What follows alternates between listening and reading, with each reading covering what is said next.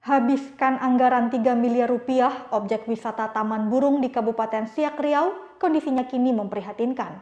Masyarakat setempat sangat menyayangkan Taman Burung yang menjadi ikon ekowisata Siak sama sekali tidak bisa digunakan untuk tempat wisata.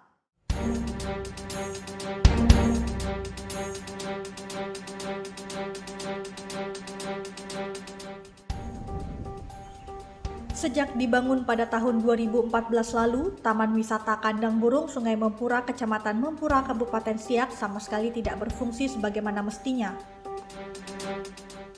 Bahkan kandang burung seluas 4.000 persegi hanya berisi beberapa ekor burung merpati dan satu ekor burung elang saja.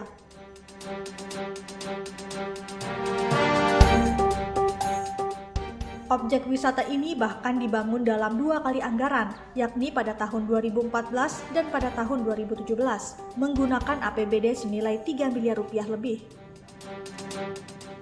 Namun sangat disayangkan, kondisi Taman Wisata Burung justru memprihatinkan.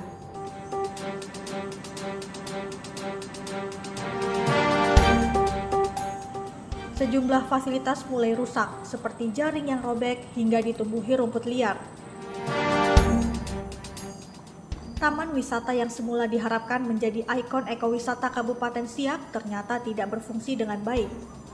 Masyarakat Siak sangat menyayangkan pembangunan taman burung terkesan sia-sia.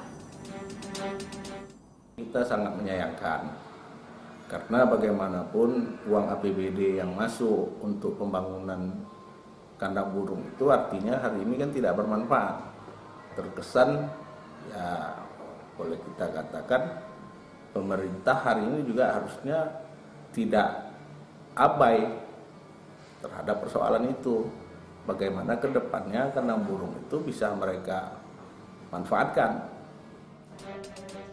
Masyarakat telah meminta kepada Pemkap Siak melalui instansi terkait agar membenahi taman wisata burung sehingga bisa dimanfaatkan sebagaimana mestinya. Namun hingga kini tak ada respon sama sekali. Dari Siak Riau, Indra Yosrizal, iNews melaporkan.